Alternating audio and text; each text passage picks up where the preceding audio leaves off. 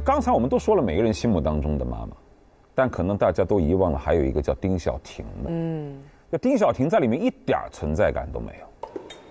如果一个人连基本的特点都没有，他可能就不被看见。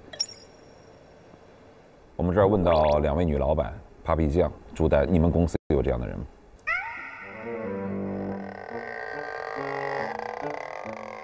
朱丹姐先说。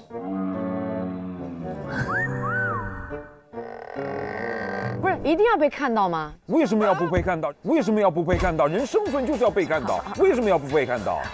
我哪怕是被我的主管，我也得看到。我错了，我错了，我错了。他急了，他急了，他急了，他急了，急了，急了，急了，急了，又急了，又急了。因为可能我跟那个玛丽，我们俩有，我们俩就喜欢坐中间的，我不大想被看到。我觉得我事情做完了，那是因为你已经被看到了，你已经是主持人，你是。